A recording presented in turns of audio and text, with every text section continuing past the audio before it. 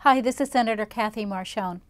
In advance of Memorial Day, it is so important that we recognize, remember, and reflect upon our veterans who made the ultimate sacrifice in defense of our freedoms.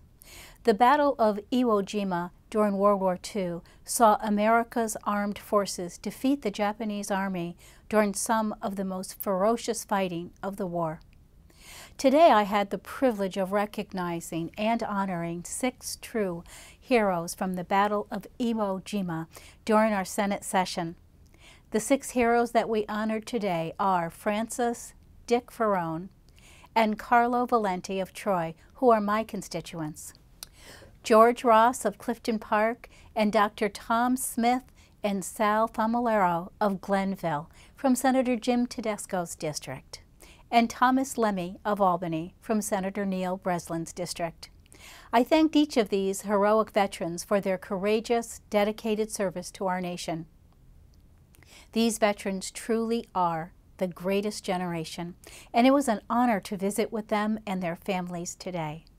Please take a moment and watch this brief video featuring many highlights from today, including personal interviews with these impressive heroes of Iwo Jima.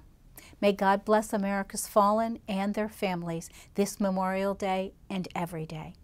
Thanks for watching.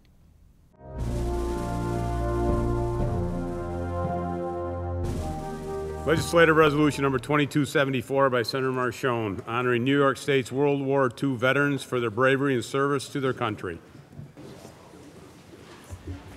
Senator Marchione.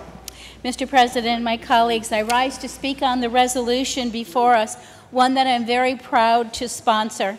Soldiers from New York State fought in the important battles of World War II, especially the Battle of Iwo Jima.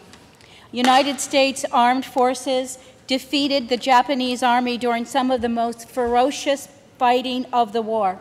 We are honored to have with us six of the heroes from the Battle of Iwo Jima with us today.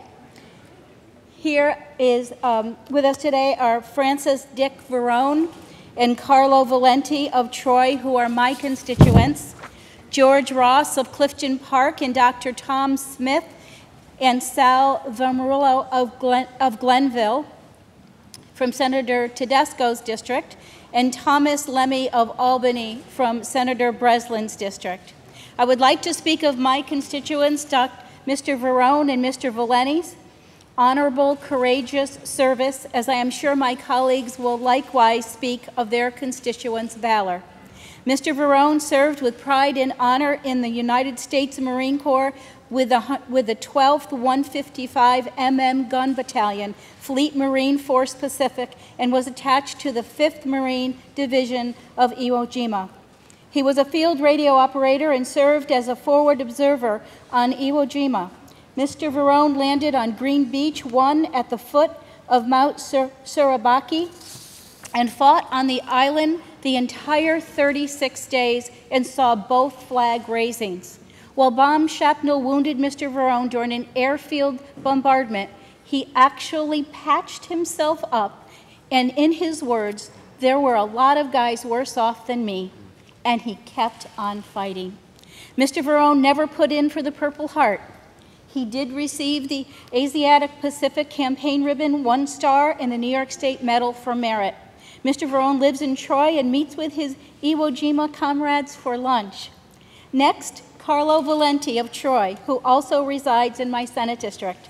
Mr. Valenti served with Company B, 28th Marine Regiment, 5th Marine Division. Mr. Valenti was an accomplished boxer in the Marine Corps, earning the nickname Duke. He landed on Iwo Jima on February 19, 1945, D-Day, at 11 a.m. In the final days of Iwo Jima campaign, Mr. Valenti was severely wounded by Japanese machine gun fire, which resulted in a months-long period of convalescence in physical therapy. Six decades later, Mr. Valenti's wounds required surgery, which unfortunately led to some neurological complications. We salute Carlo Valenti's courage under fire and his incredible fortitude, and we thank him for his dedicated, faithful service to our nation. Thank you both, and our thanks to all of you for your courageous service to our nation. You are the greatest generation, and we are honored to be in your company.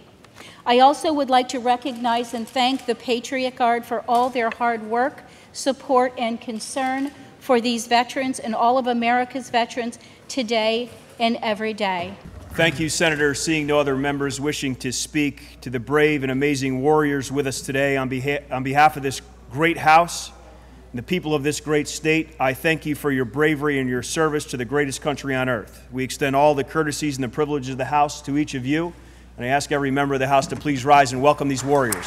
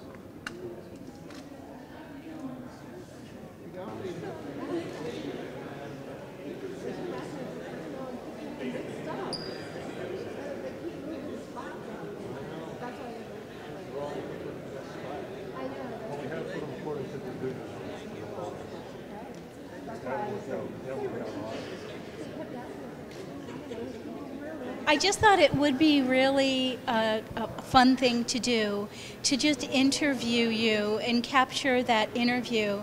So I would ask if I, I will interview. Um, if Neil doesn't come back, I'll interview three, Jim, and then you could interview the three that you represent. And if the family would stay around, and if the family wants to say anything, that would be just fine as well. So, uh, Mr. Verone, here, if I may start with you.